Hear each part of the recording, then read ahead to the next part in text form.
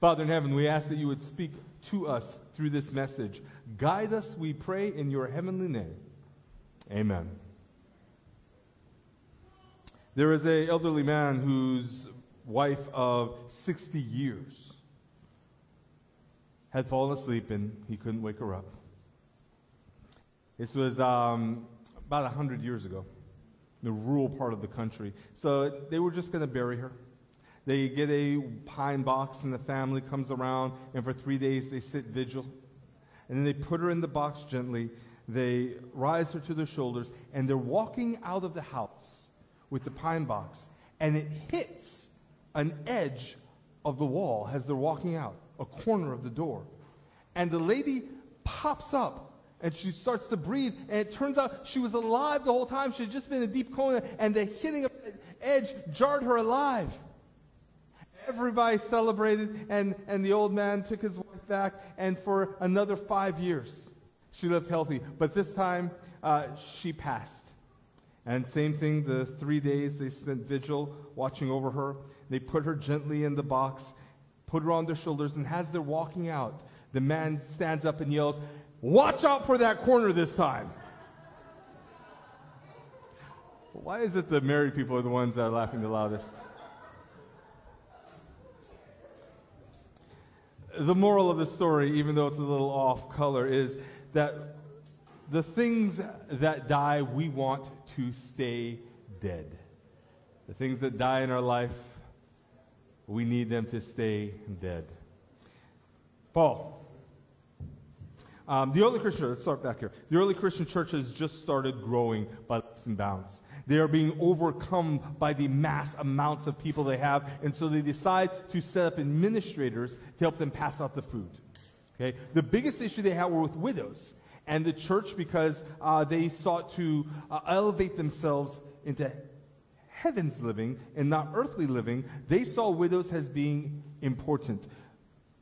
Widows in the Jewish community, in fact, the entire Middle Eastern community at that time, were almost worthless. See, men had the greatest value, uh, then sons, okay? Then women, but only, only as they related to how they could serve men. Okay? When a husband died and left a wife without a son, she was in dire straits. She couldn't own property a lot of the times. Uh, most of his estate would pass on to his brothers.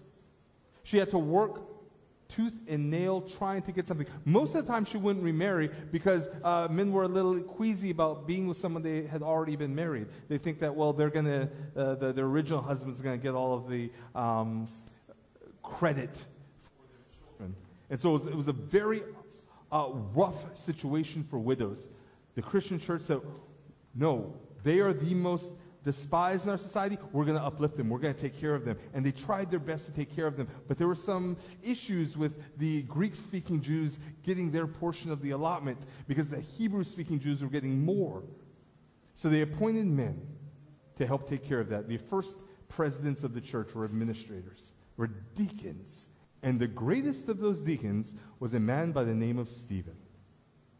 Stephen was powerful in work and indeed. He uh, not just uh, served the needs of the people, but he showed what Jesus was really like, what God was really like, by the way he treated people. And he spoke wisdom and knowledge and power. The Jews had had enough of him, the ruling Jews, the Sanhedrin, and so they brought him in to give a testimony as to who he was and what he thought he was doing. And this is where we pick up the story for today.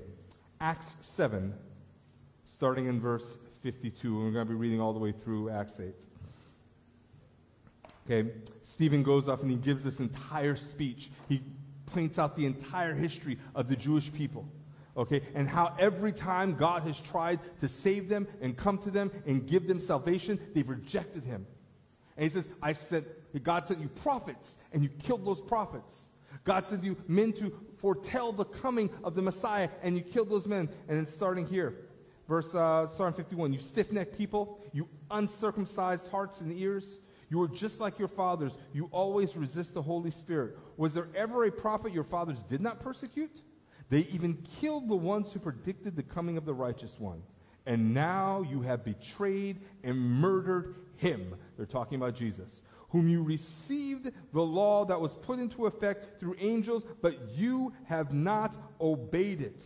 When they heard this, they were furious and gnashed their teeth at them. But Stephen, full of the Holy Spirit, looked up to heaven and saw the glory of God and Jesus standing at the right hand of God and said, Look, I see heaven opened up and the Son of Man, Jesus Christ, standing at the right hand of God. At this, they covered their ears and yelling at the top of their voices, they rushed at him. They dragged him out of the city and they began to stone him. The, this, by the way, I just want to point out, is the church. Okay? These aren't just, you know, a mob of unruly individuals. This is a church group.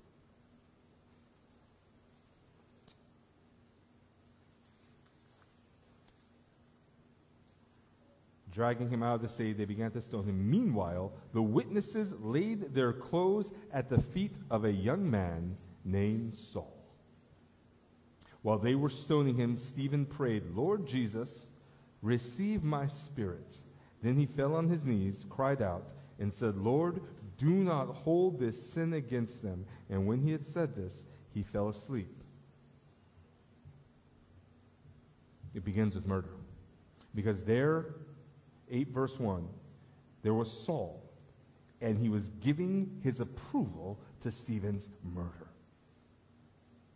On that day, great persecution broke out against the church in Jerusalem, and all except the apostles were scattered throughout Judea and Samaria. Godly men buried Stephen and mourned deeply for him, but Saul began to destroy the church, going from house to house. He dragged out men and women and put them in prison. Saul has all of a sudden become someone who doesn't just give approval to persecution, but he is persecuting the church with every chance he gets.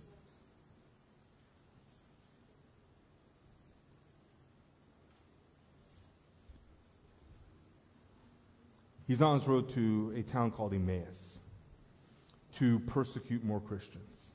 There's a church leader down there, Barnabas, who I'm sure is terrified.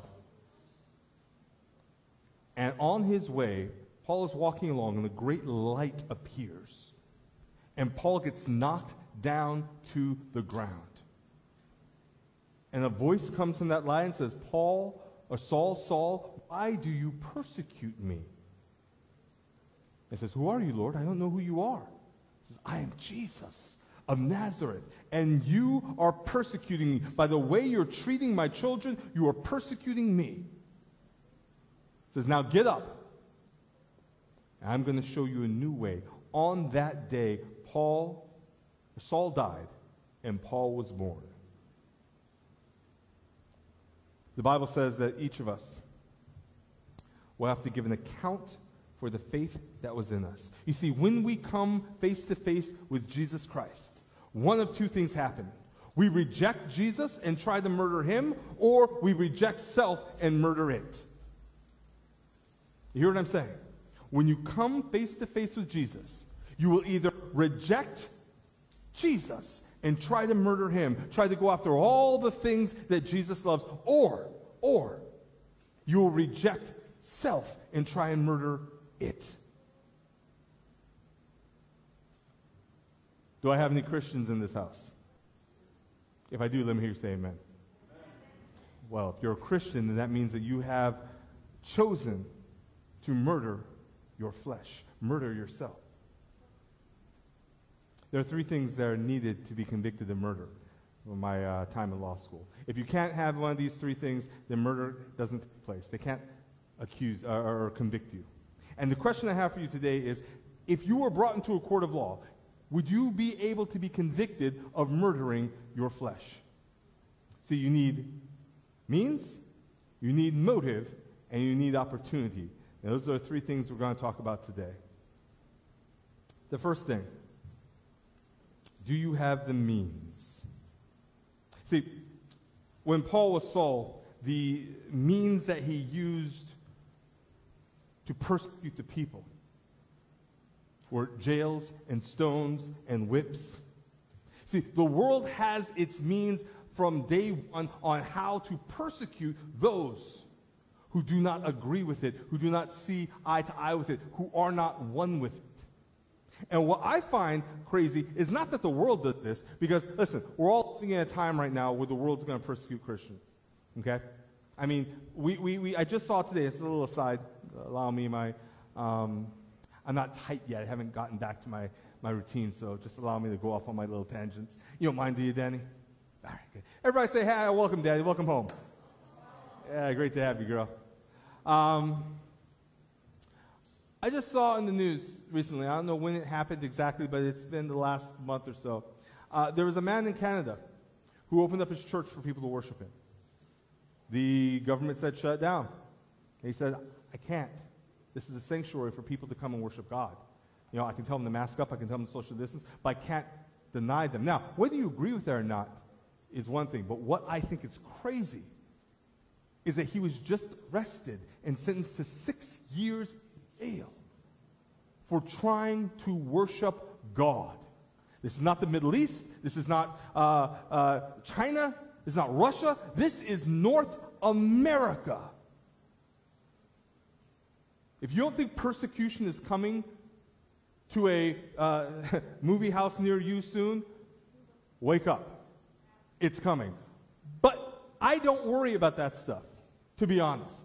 The world will always seek to destroy what's not like him. The problem I have is when the church seeks to persecute its own. When the church are using the implements of the world as means of persecution.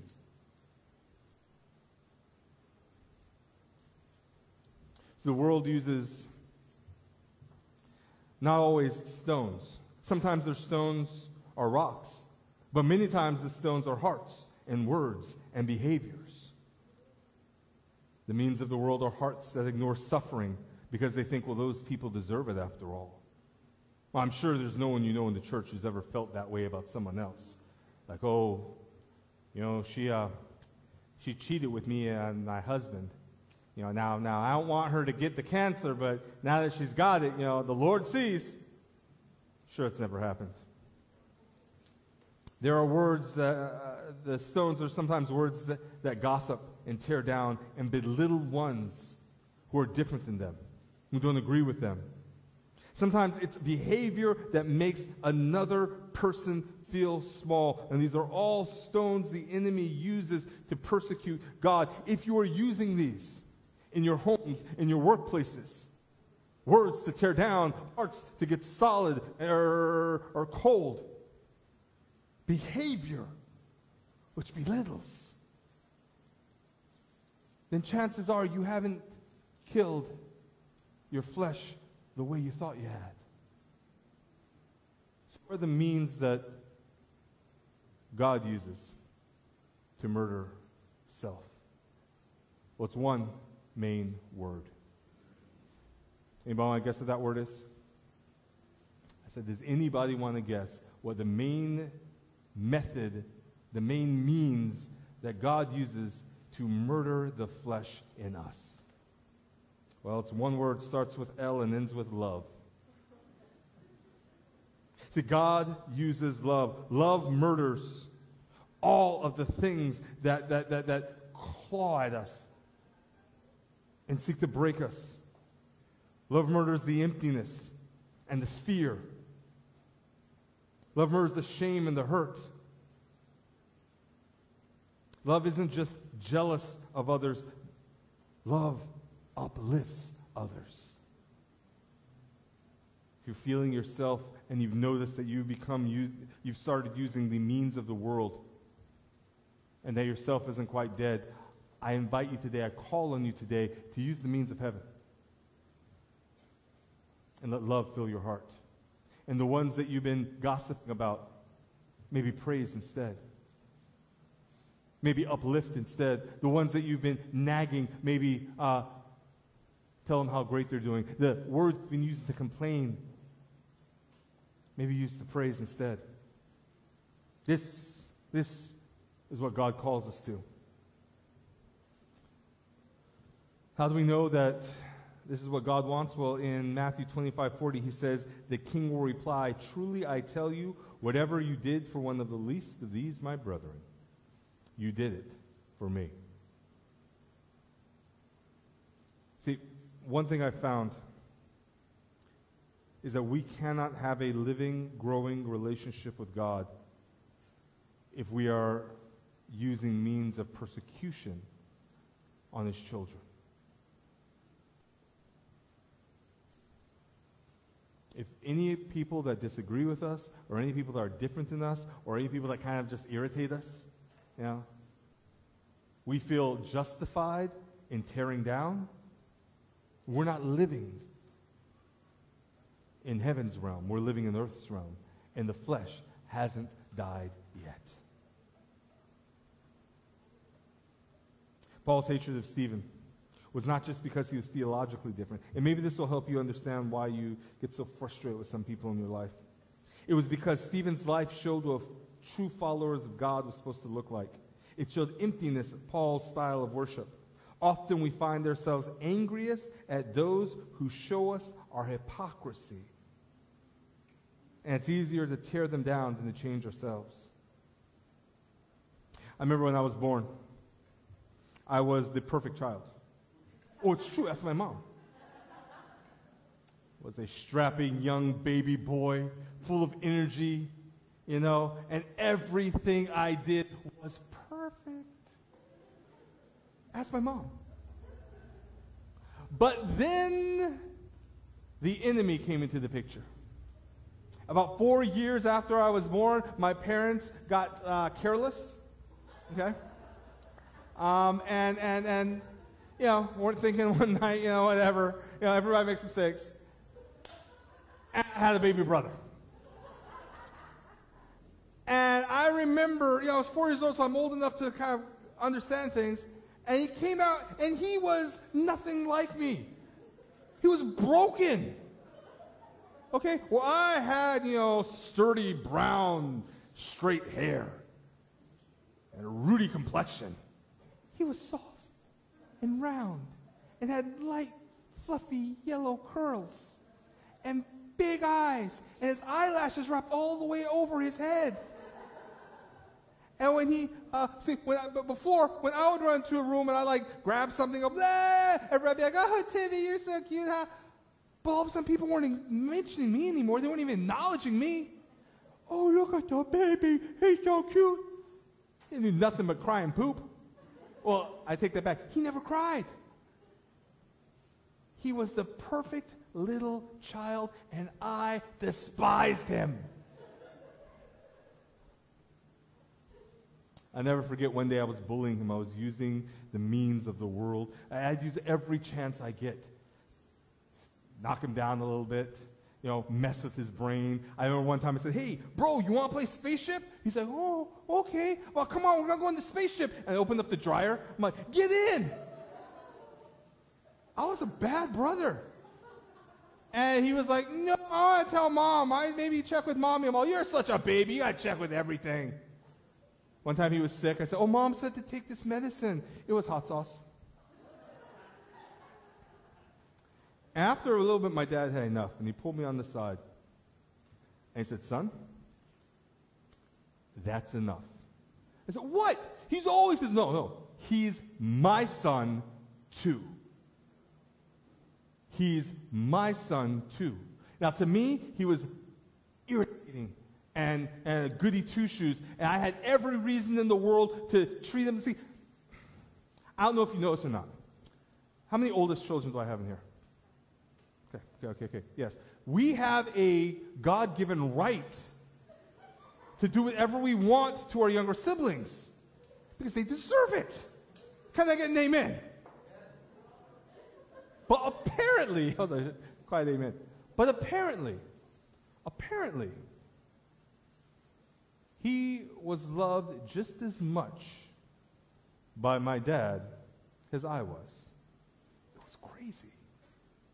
He said, You have no occasion to treat your brother bad. Because when you mistreat him, you mistreat your mom and me. And then he did the Walt Nelson thing and said, And you don't want to mistreat me, boy. But I say all that to say, what I learned then, I've carried to today, and I've realized that they're all of us children of God. And when we mistreat one, we are mistreating God. It's hard. But that's the facts. Love one another as I have loved you, Jesus said. Going on. Going on. What's your motive? What's your motive? See, you have the means of heaven, you have love. What motivates you? See, most of us, when we go back to the, the core things of our motivation, we're motivated by approval of someone.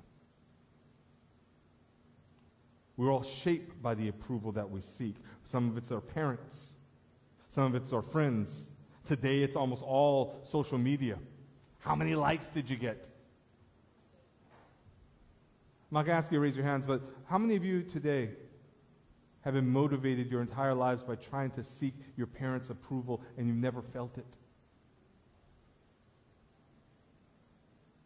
How many of you have been motivated by trying to seek the approval of maybe a spouse, but never had it? Can't tell you how many of our young people have poured themselves in to try and seek the approval of X's and O's, digital things, media, likes and dislikes.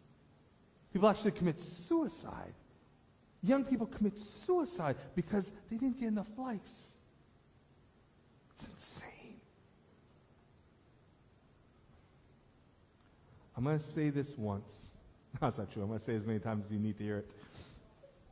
Stop trying to get the approval of, from someone or something that cannot give it to you. So many of us are trying to fill ourselves and our brokenness with vessels that are broken themselves. Pitchers that have empty uh, holes in the bottom. And the more we try and fill, the more empty we feel. We continue and we do all these things trying to get approval of something that we cannot get. Paul, Saul, I should say, Saul was motivated by the approval of the Jews. He was a Greek speaking Jew. He was not born in Jerusalem. He was looked down on by them. And so when he's sitting there and he's giving their approval to them stoning Stephen, trying to show that, yeah, I'm one of you guys, and he got some, hey, good job, Saul. Thanks for watching our cloaks and stuff. Man, he hit that thing full bore. So I'm going to persecute more people. And the more he persecuted, the more approval he got from them. And the more and the more and the more. But here's the thing he got to the place where he was the chief persecutor for the Israelites. But it always still left him feeling empty and not enough. How do I know? Well, it's simple. He had achieved the highest status he possibly could. He's a Hebrew of Hebrews. Okay? He is uh, circumcised on the eighth day. He has all of the accolades. He has gotten letters of commendation and approval and authority from the temple to go to synagogues and drag people out of their houses and throw them into jail and stone them. All the power he could possibly want. But Jesus steps into his life and he walks away from all of it.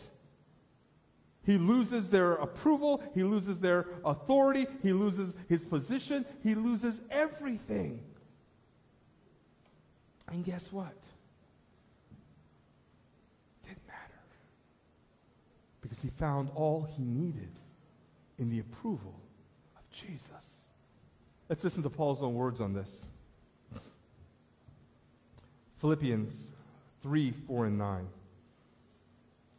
Paul is speaking to a governor. Oh, that's an Acts. No, Philippians 3, 4, and 9. Uh, Paul's talking about his conversion story, his, his, his, uh, the, the flesh that he used to take so much pride in. you know, the approval that he used to seek.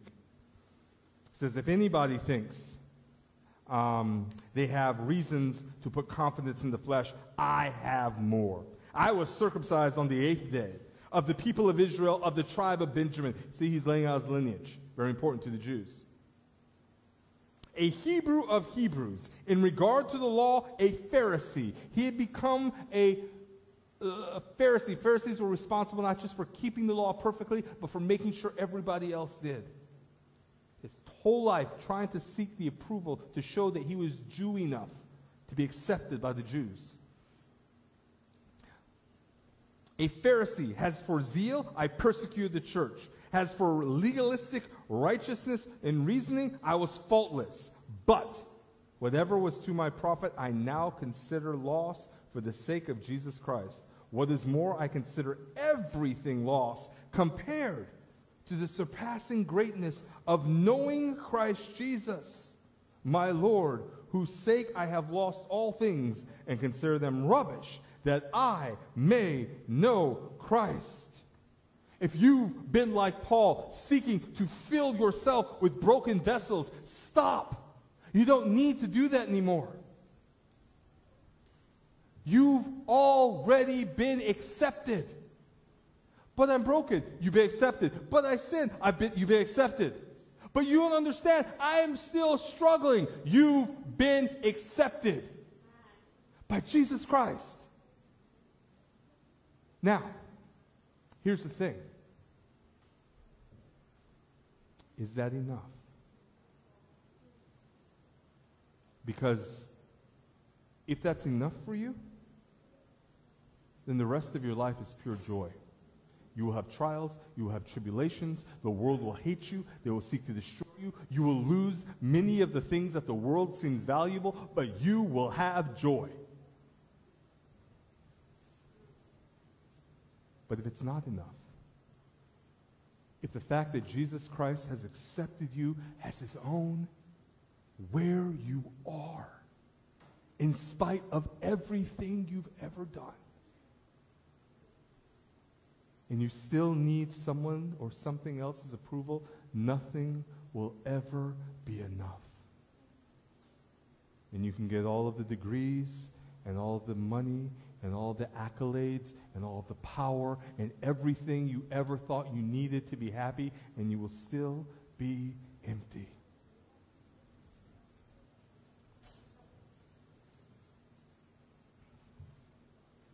If you've been feeling empty, Maybe it's because you've been living for the approval of the broken. Maybe it's time you stop trying to get their approval and realize that you've already got everything you need.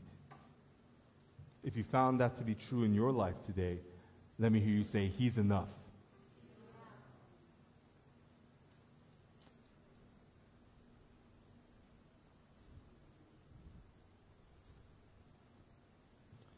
I have a little illustration I want to put with it. I don't know. Should I give it, Monty? For me, I've early on found that I had to find, you know, uh, acceptance in uh, myself. Just be happy with it myself. You know what I mean? Um, I, that's why oftentimes, maybe like today, I, I, I ways that people say, "Why is he thinking?" What is?" Because I don't care. You know, that's the way I like to look. You don't like it? That's okay. But I started cooking recently, and what I've, I found within cooking a need for approval. And it's, it's kind of weird, right? And it's like, you know, like, like I, I, I, I love like cooking like, like sandwiches. It's, it's dude cooking, okay? Don't, don't get, you know, excited. It's not like, like, you know, flambés or, you know, uh, whatever. You know, you know it's, it's, dude cooking sandwiches and, um, I don't know, what else do I cook besides sandwiches? You know, casseroles, maybe something. Yeah, but, yeah, yeah spaghetti. Um, but, but, but it's big to me, right? And, and, and, and I'm always like, you know, I'll, I'll cook it. I'll spend like, you know, all my, putting my effort in, and I'll, I'll give it to, and I'll just wait like this, like a puppy needing a morsel of approval. Did you like it? Did you like it? And, you know, before they even eat it sometimes, oh, how is it? I, I haven't tried it yet, but I'm sure it's good. Now, what I found though was the one person's approval that I really, really desperately wanted, because she's the one I really started, was my daughter's, you know? Maddie especially, because Sophie was like, oh, Daddy, it's good. I love it. That's great. Oh, thank you, Sophie. You're awesome. But Maddie, Maddie, my college student, she refused to get, she's always like this. Mm. Well, well, does, does it need more butter? Mm. How about more salt? Mm. Uh, but, but, but, how about a little pepper, maybe a little uh, spices? Mm. It always like it drove me crazy. I always like try, okay, maybe I eat two eggs and maybe the cheese in between. The, I do egg sandwiches. They're delicious. You ever want to try them, come over one day. I'll make you one. Anyway, uh, you know, maybe just uh, the way I put it, croissant versus sourdough. Got to figure out which one's best. And every time she'd always be like, hmm. It was driving me crazy until one day I noticed something about her. She doesn't chew her food. Okay, she's an athlete. So her reason for eating is different than most people's reason for reading. She just needs to get food in her belly because she's always starving. And so she has this thing where she unhinges her jaw and just consumes the food at once.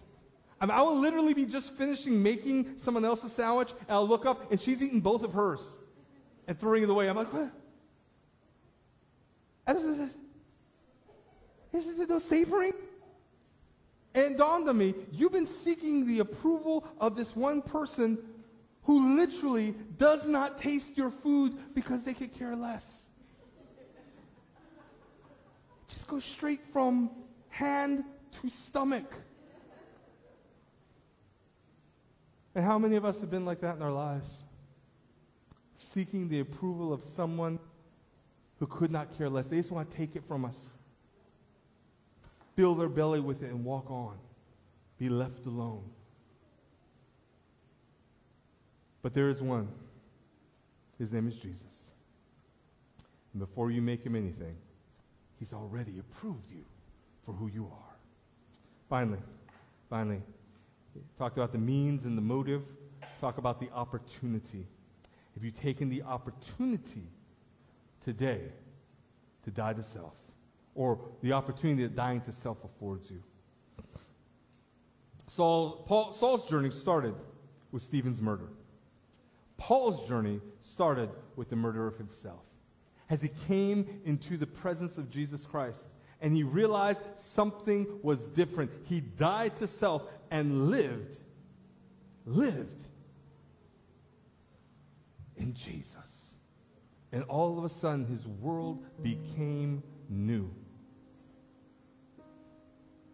There's something so important about understanding what it means to die to self, about what it means to not go back to the scene of the crime. Do you hear what I'm saying? As I said earlier, some people, they like to kill themselves, but not all the way, right? Keep themselves a little bit on, on life support. Go back to it every now and again. I've heard a story. Uh, it could or couldn't, you know, be 100% accurate, but for the purposes of this illustration, it is accurate. Uh, Romans, one of their ways of, of, of uh, penalizing and punishing people was to chain a dead corpse to them. Oftentimes, it said the murder victim would, or the murderer would have their uh, victim chained to them. And as the victim decayed, the decaying flesh would poison the good flesh and anybody who would try and free them from that, uh, they had the penalty of death put upon them. And so they had to walk around with a decaying corpse upon them until they themselves became a decaying corpse. Pretty disgusting, isn't it? But that's what we do to ourselves. For all of us who have come to Jesus and He's cut the corpse off of us. He said, You can now be free. You have the opportunity to live the life of heaven, the life you've always been called to live, the life I created you for. And we go back and we strap that old dead body on us. We drag it around say, Oh, woe is me. You don't have to do that. When you die to self, the only way you can die to self is by accepting Jesus Christ. And when you accept Jesus Christ, you have the power to walk free. Somebody say, I've got the power. Say, I'm free.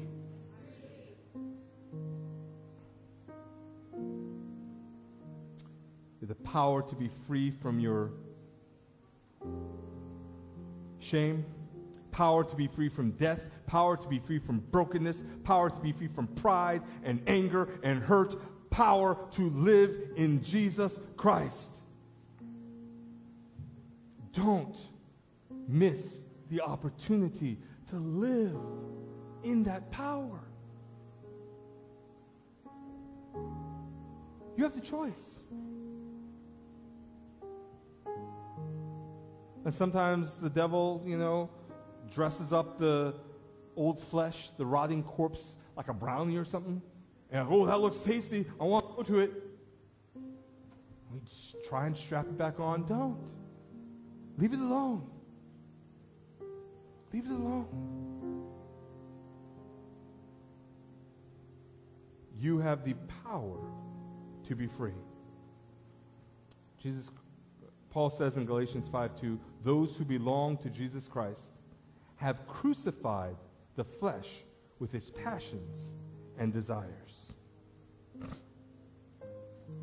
As Paul is put in prison and he's brought before a king, he has a um, story to tell him about the man he used to be and the man he is. Paul telling the story to the king says, uh, On one of these journeys, I was going to Damascus with the authority and commission of the chief priest. About noon, O king, as I was on the road, I saw a light from heaven, brighter than the sun, blazing around me and my companions. We all fell to the ground, and I heard a voice saying to me in Aramaic, Saul, Saul, why do you persecute me? Why do you kick against the goads. You see, God was trying and trying to reach Saul to set him free, but Saul kept kicking against it, trying to get away from him. He says, Who are you, Lord? He says, I am Jesus Christ you are persecuting. And the Lord replied, and I want, if any of you are here today, if, if you're someone who's already like, you know, I'm fine, I'm free, I've murdered self, I'm doing good, well, then just, you know, listen to the pretty music playing and don't worry about it. But if you're someone who's still struggling, going back and forth, leaning for the corpse and then leaning for Jesus and not quite sure what to do, I'm telling you right now, you don't have to do this. Listen to this next part that Paul says. The Lord replied, Now get up and stand on your feet. Have you been knocked down by sin? Have you been knocked down by shame? Brothers and sisters, Jesus Christ's commission to you is get up and stand. He says, I have appointed you as a servant and a witness to what you have seen of me and what I will show you. I will rescue you from your own people and from the Gentiles. I am sending you to them to open their eyes, to turn them from darkness to light, from the power of Satan to the power of God, so that they may receive forgiveness of their sins and a place among those who are sanctified in faith by me. Now, how could he say this to someone who is on his way to persecute people, who is in his own sin? Because God had already forgiven him and given him the power to stand and walk. And he's done that for you. You have the power. You have the power. Be free. Stand. Father in heaven. Thank you so much for giving us the means in which to love you, to love those around us, for giving us the opportunity to choose you, and for being the only motive we need. Thank you, Jesus. Lord, if there be anybody here today who is still struggling with letting their old self die, Lord, let them know that there is a new self in you that is greater than anything they could ever imagine, and that can finally find fulfillment if they but kill their flesh and accept your spirit. I lift them up to you today in Jesus' name. Amen. Let's have a couple of quick announcements.